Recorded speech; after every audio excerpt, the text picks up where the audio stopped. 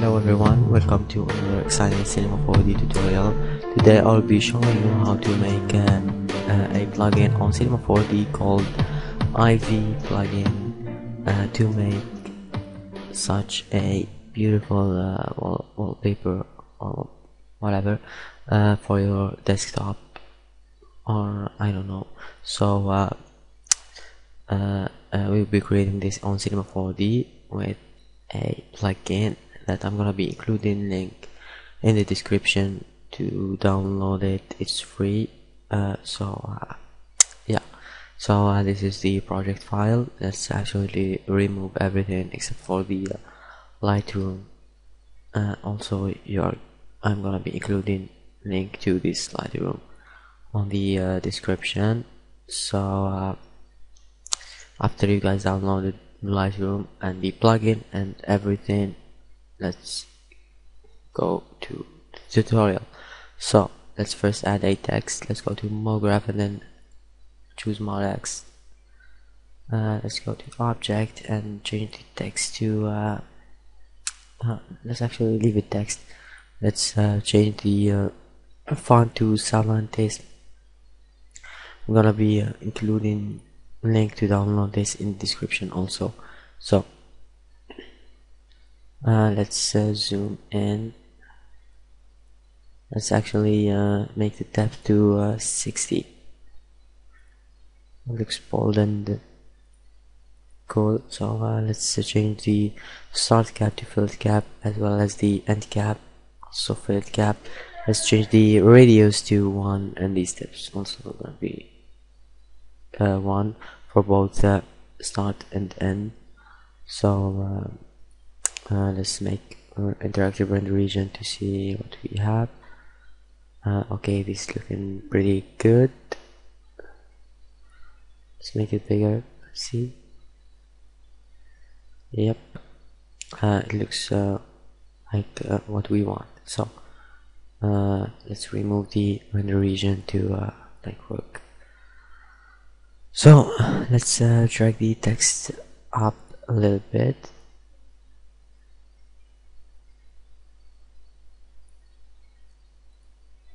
let's actually use this to uh, see.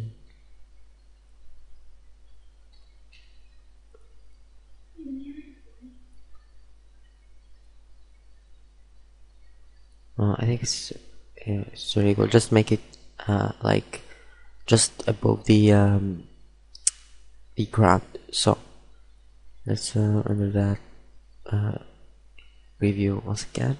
Okay this is looking uh, awesome so let's add a material.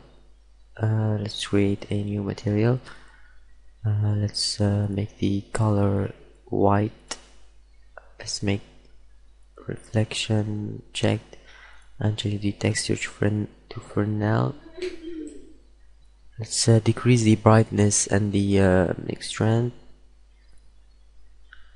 Uh, something like 40 50 or whatever uh, the point is the material is reflective that's all. So let's drag it to the text object. Yeah it looks uh, much better I guess. So next thing I'm gonna add the leaves. I go let's first uh, delete this interactive region let's go to the uh, plugin and then choose Ivy Grower. Uh, this panel should shows up uh, and by having the MoText uh, uh, object highlighted let's double click on an area on the text let's uh, let's actually make it above the above the text. By double clicking and then by uh, going to Grower Ivy Grower plugin let's go to the growth panel and click grow ivy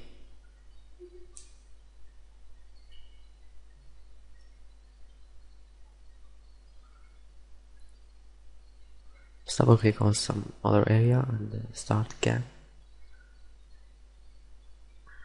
So uh, let's stop it. I think it's uh, enough.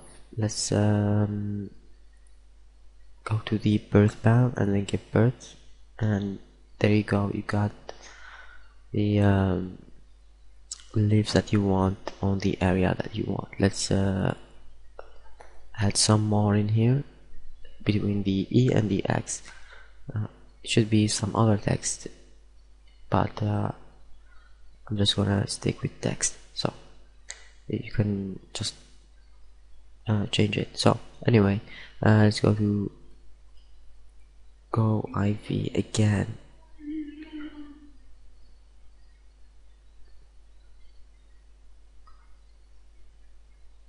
Now let's stop it here and then give birth again so uh, if you're comfortable with this you can just render it right now. Let's uh, let me actually put some on the ground.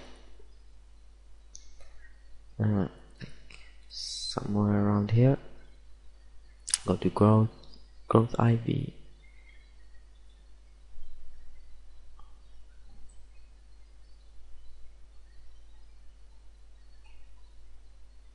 stop it give birth again.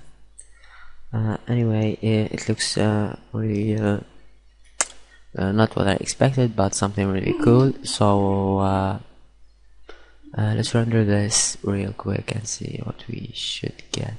Actually let's go back to the render settings.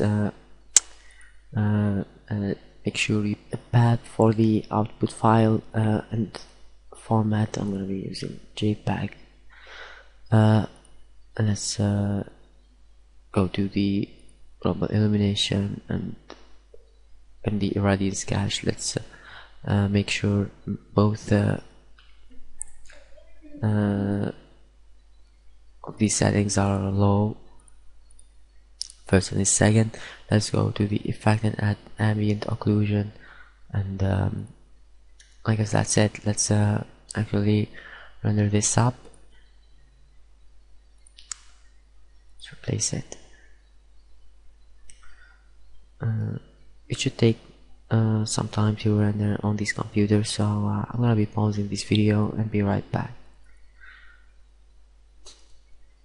So this is how it should look like after rendering. Uh, I hope you guys enjoyed this tutorial and uh, maybe if it's too dark you can mess around with it on filters and just uh, increase the brightness the contrast the exposure maybe or gamma or whatever. You can mess around with these settings uh, I'm not gonna use them. Uh, if you don't wanna just uh, if I want to retouch the photo I'm, I'm I just use Photoshop. Uh, but uh, I guess that's all for this tutorial. I hope you guys enjoyed it. See you on uh, another tutorial. Make sure you subscribe and like this video and um, thanks for watching. Peace